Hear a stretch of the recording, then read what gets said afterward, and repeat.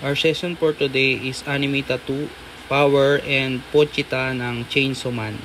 Si client ay mahilig sa anime tattoo kaya ito yung pinagawa niya. Ako wala akong alam sa anime kaya wala akong idea kung sino tong character na to. So sinubukan ko ngayon yung Extreme 4.0 ng Dragon Hawk na machine. Napakaganda pala niya sa lining. Ayan, makikita po natin, one pass lang po yung ginagawa ko sa bawat lines. Makapal po, 9RS po yung ginamit kong makapal na line at 7RL naman do sa maninipis na lines. Ang napansin ko lang medyo mabibrate siya at medyo mas mabigat siya compare sa pen.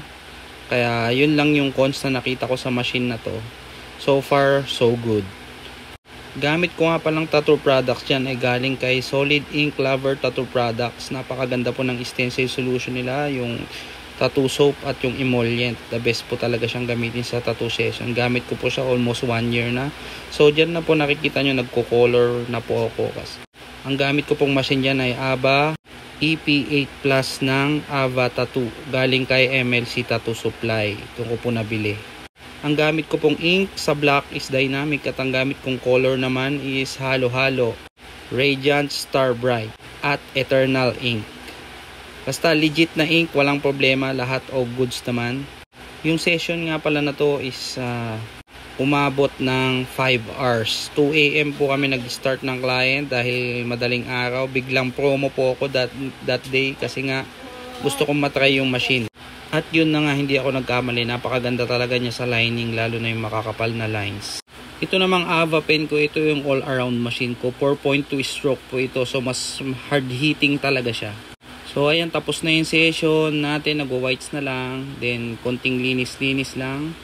At yan na yung final result natin. After 5 hours ng pain at puyat, ito na po yung result.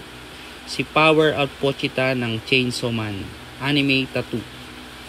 Kapag may gusto pa po kayong malaman at gustong ipagawa sa akin, i-comment lang po sa comment section para magawan po natin ng video. Ayan, pinupunasan ko na alam nyo na, ang punas, isa sa pinakamasakit na part ng tattoo kung kailan tapos na. Mas masakit siya kaysa sa mismong tattoo session. After ko malinis ng tattoo, uh, gumagamit naman ako ng Mr. Marcos Organic. So, ito po, kinukuha ko na yung Mr. Marcos Organic Tattoo Finishing Gel dyan. Ito maganda kasi nga, pinapatay niya yung bacteria at naiibsan yung pangangati ng tattoo pag gumagaling at mas less yung scabbing at moisturizing na rin po siya. Maganda rin siya sa aftercare natin. Kung wala pang aftercare ang client na ginagamit, magandang i-recommend po natin ito. Nasa yellow basket. Kung gusto nyo umorder, may 3 variants po yan at may dalawang sizes. Ito na po yung pinaka-final result ng ating tattoo session today. Salamat po sa panonood.